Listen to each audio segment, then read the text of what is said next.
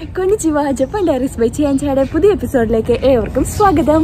അപ്പോൾ ഇന്ന് കുറേ നാളുകൾക്ക് ശേഷം നമ്മൾ ഒരു യാത്ര പോവുകയാണ് ജപ്പാനിലെ ഗിഫു എന്ന സ്ഥലത്തേക്ക്. അതെ ഇവിടുന്ന് ഒരു മുന്നൂറ്റമ്പത് കിലോമീറ്ററോളം ഉണ്ട്. ഏകദേശം നമ്മൾ കാറ് റെന്റിനടുത്താണ് പോകുന്നത്.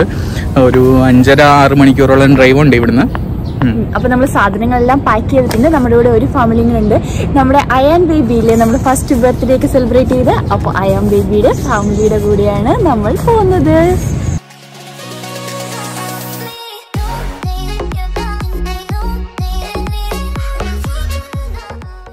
ഒരു രണ്ട് മണിക്കൂറൊക്കെ യാത്ര ചെയ്ത് കഴിഞ്ഞപ്പോഴത്തേക്കും ഞങ്ങൾ ബ്രേക്ക്ഫാസ്റ്റ് കഴിക്കാൻ വേണ്ടിയിട്ട് ഒരു സർവീസ് ഏരിയയിൽ നിർത്തി. ഇവിടെ ഹൈവേയിലൊക്കെ സൈഡിൽ സർവീസ് ഏരിയസ് കാണാറുണ്ട്. നമുക്ക് ബ്രേക്ക്ഫാസ്റ്റ് കഴിക്കണം അല്ല ജസ്റ്റ് റിഫ്രഷ് ചെയ്യാനും വേണ്ടിയിട്ടൊക്കെ. അപ്പോൾ ഞങ്ങൾ ഇവിടോട്ടൊന്ന് ഇറങ്ങുകയാണ്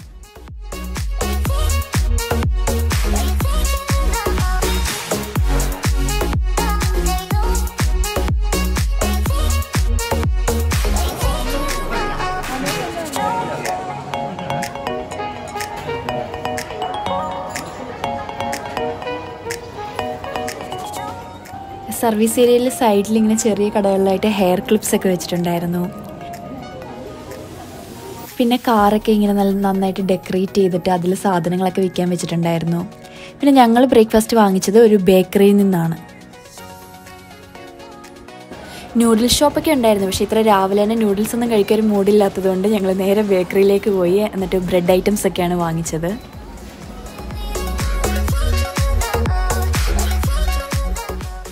ഒരുപാട് ഓപ്ഷൻസ് ഉണ്ടായിരുന്നു. ഞാൻ ചോക്ലേറ്റ് ഫില്ല് ചെയ്ത ബ്രെഡാണ് വാങ്ങിച്ചത്. അനുവേട്ടൻ ബട്ടർ ഫില്ല് ചെയ്ത ബ്രെഡും ഞങ്ങളിപ്പോൾ ഇവിടെ ഒരു സർവീസ് ഏരിയയിൽ നിർത്തിയിരിക്കുകയാണ്. ബ്രേക്ക്ഫാസ്റ്റ് കഴിക്കാൻ വേണ്ടിയിട്ട് ബ്രേക്ക്ഫാസ്റ്റ് ഒക്കെ വാങ്ങിയിട്ടുണ്ട്. അപ്പം ഞങ്ങളിത് കഴിക്കാൻ പോവാ.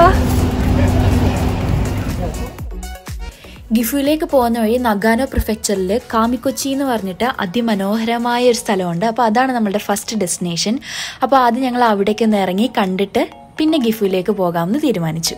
ഇത് പോകുന്ന വഴി എനിക്ക് ഛർദ്ദിക്കാൻ വന്നിട്ട് കാറ് നിർത്തിയതായിരുന്നു.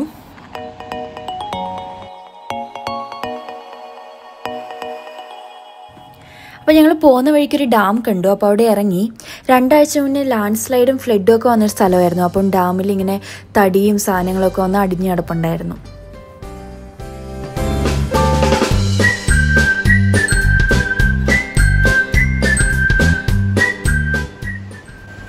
ഇവിടെയാണ് സവാന്തോ ഓൺസൻ കാമിക്കൊച്ചിയിലേക്ക് പോകുന്ന വഴിക്ക് ഇവിടെ വരെ പ്രൈവറ്റ് കാർസ് സമ്മതിക്കത്തുള്ളൂ. അത് കഴിഞ്ഞ് ടാക്സിയിലോ ബസ്സിലോ വേണം നമ്മൾ പോകാൻ. അപ്പം ഞങ്ങൾ ഇവിടെ നിർത്തി. ഉച്ചയ്ക്കത്തെ ലഞ്ചൊക്കെ കഴിച്ചിട്ട് പോകാമെന്ന് വിചാരിച്ചു. ലഞ്ചൊക്കെ നമ്മൾ ഓൾറെഡി പ്രിപ്പയർ ചെയ്ത് കൊണ്ടുപോയിട്ടുണ്ടായിരുന്നു. അപ്പം ഞങ്ങൾ അവിടെ നിന്ന് കഴിച്ചു.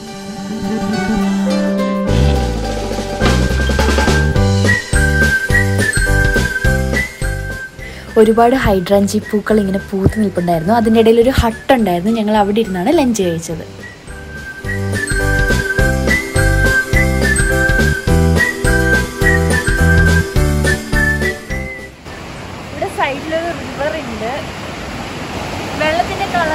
നല്ല പച്ച പോലത്തെ കളറാ അനുവേറ്റയുടെ ഷോട്ടിന്റെ കളർ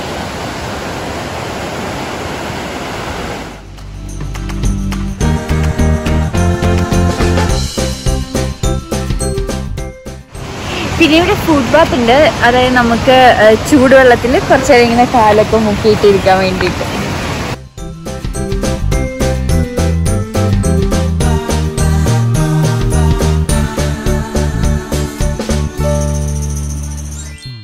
അതിനുശേഷം ഞങ്ങൾ രണ്ട് ടാക്സിയിലായിട്ട് കാമിക്കൊച്ചിയിലേക്ക് പോയി. യാക്കേദാക്കെ എന്ന് പറയുന്ന ഒരു ആക്റ്റീവ് വോൾക്കാനോ ഉണ്ട് ഇവിടെ നയന്റീൻ ഫിഫ്റ്റീനിൽ അത് ഇറപ്റ്റ് ആയപ്പോൾ ഉണ്ടായതാണ് ഈ തായ് പോണ്ട് അതിനുശേഷം മനോഹരമായ ഒരു കാടിനുള്ളിൽ കൂടി പോയിട്ട് അവസാനം കാമിക്കൊച്ചിയിലെത്തി. ടാക്സി ഇവിടെ വരെ ഉണ്ടായിരുന്നുള്ളൂ. അതിനുശേഷം ഞങ്ങളൊരു അഞ്ച് മിനിറ്റ് നടന്നു. അപ്പോൾ കപ്പാബാഷി എന്ന് പറയുന്ന ഒരു ബ്രിഡ്ജ് എത്തും ഞങ്ങളവിടെ എത്തിയപ്പോഴത്തേക്കും ചെറുതായിട്ട് മഴ പെയ്യാൻ തുടങ്ങി. അപ്പോൾ ഞങ്ങളെല്ലാം കുടയൊക്കെ എടുത്തിട്ടാണ് പിന്നെ അങ്ങോട്ട് പോയത്. മഴ ആയതുകൊണ്ട് തന്നെ പിന്നെ നടന്നു കാണാനൊക്കെ കുറച്ച് ബുദ്ധിമുട്ടുകളുണ്ടായിരുന്നു.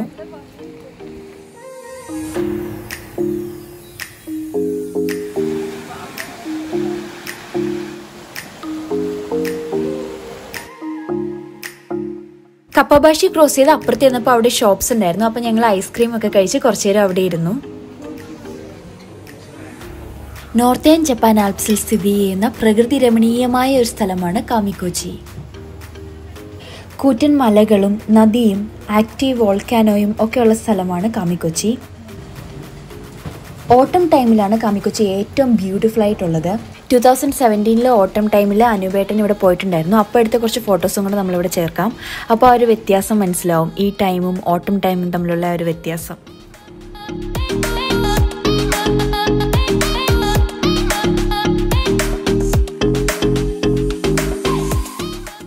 ഗിഫുവിൽ തക്കായാമ എന്ന് പറയുന്ന സ്ഥലത്തേക്കാണ് ഞങ്ങൾ പോകുന്നത്. അപ്പോൾ പോകുന്ന വഴിക്ക് ചോഷി വാട്ടർഫോൾസ് എന്ന് പറഞ്ഞിട്ടൊരു ബോർഡ് കണ്ടു. അപ്പോൾ ഞങ്ങൾ ജസ്റ്റ് അവിടെ നിന്ന് നിർത്തി. ഞങ്ങൾ ഈ വെള്ളത്തിന്റെ ഉത്ഭവം തേടി പോകും അവിടെ ഒരു വെള്ളച്ചാട്ടം ഉണ്ട് അപ്പോൾ ആ വെള്ളച്ചാട്ടത്തിന്റെ അടുത്തോട്ട് പോയി ഈ കാടിനകത്തൂടെ വേണം പോകാൻ. എന്തായാലും പോയി നോക്കാവുന്ന കരുതി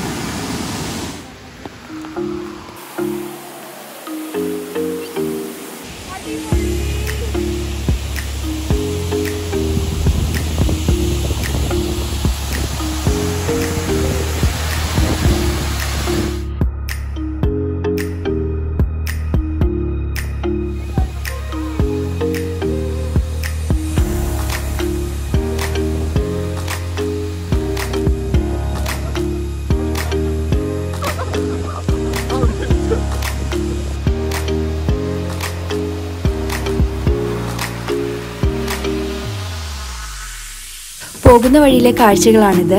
നെൽപ്പാടങ്ങളൊക്കെയുള്ള തികഞ്ഞൊരു നാട്ടിൻ പ്രദേശം. അങ്ങനെയാണ് തോന്നിയത്.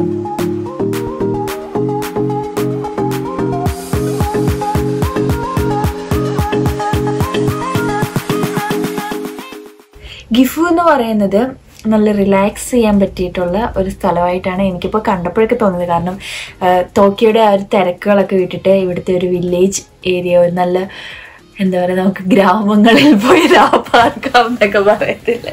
എന്താ മുന്തിരി തോപ്പ്? എന്തായാലും ഏട്ടാ മുന്തിരി?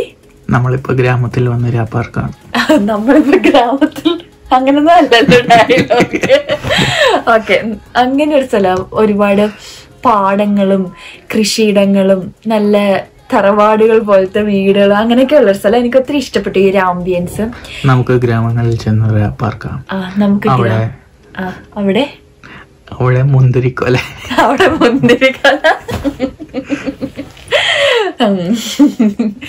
ഓക്കെ. അപ്പോൾ ഭയങ്കര റിലാക്സ് ചെയ്യാൻ പറ്റിയിട്ടുള്ള ഒരു സ്ഥലമായിട്ടാണ് തോന്നിയത്. അപ്പോൾ നമ്മൾ വരും ദിവസങ്ങൾ കൂടുതൽ കാഴ്ചകൾ ഇവിടുത്തെ കാണുന്ന കാണിക്കുന്നതായിരിക്കും.